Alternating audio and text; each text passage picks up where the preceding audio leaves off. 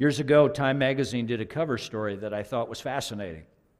It was uh, titled, uh, Why the Bible Should Be Taught in Public Schools, but very, very carefully. Show this next slide, Nate. This was the cover from it.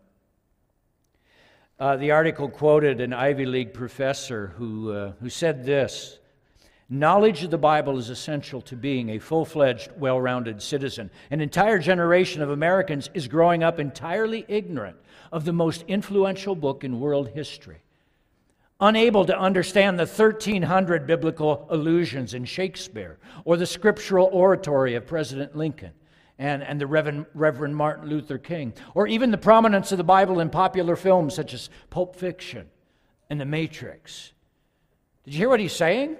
We're a poorer people because we don't know the Bible.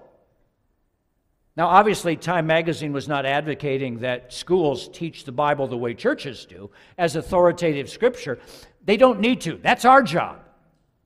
But how can schools ignore talking about the book that is the number one bestseller year after year after year.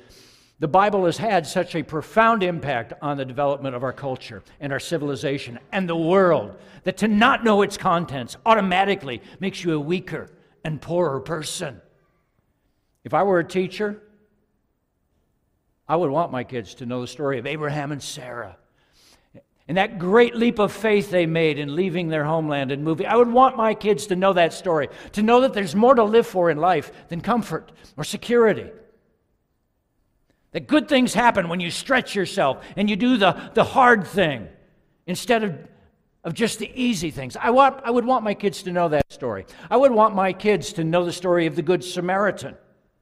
Talk about putting a dent in, in bullying today. You get that story in kids' hearts. I would want the kids to know the story of David and Goliath. Here's David, the run of a litter. Talk about your self esteem booster.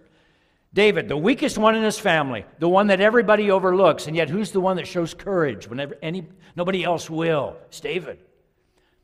I would want our kids to know the Ten Commandments, wouldn't you?